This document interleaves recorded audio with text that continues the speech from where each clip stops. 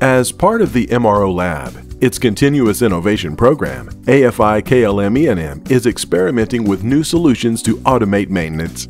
Among these, AFI KLM is working alongside a specialized company to develop a process for stripping coverings from structural aircraft components using cornstarch as a pressurized blast medium. It works on both metal and composites. The basic principle is straightforward. A robot arm guides a blast head with a nozzle that blasts the surface of the part with pressurized cornstarch. The arm is coupled to an optical system that monitors the layer of paint removed in real time.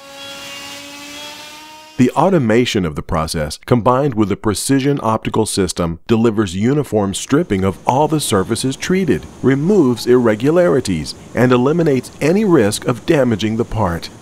This renewable, environmentally friendly cornstarch process uses only natural products and eliminates dust projections at the same time as it generates substantial water savings compared with other existing paint removal techniques. It's also more efficient than present-day mechanical and chemical processes because it removes only the paint without damaging the substrate.